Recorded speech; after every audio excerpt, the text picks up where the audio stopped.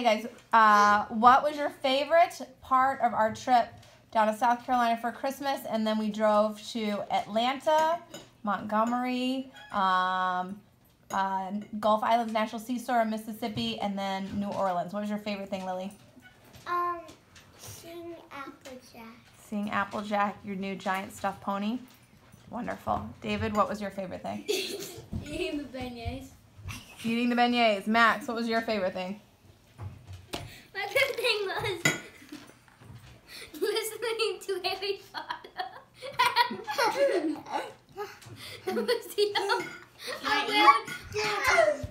Listening to Harry Potter and what? and I'm going to the Museum of World War II. You like the World War II Museum? And Emmett, do you have a favorite thing, Emmett? What was your favorite thing? What? Paw Patrol. You got Paw Patrol presents? Okay.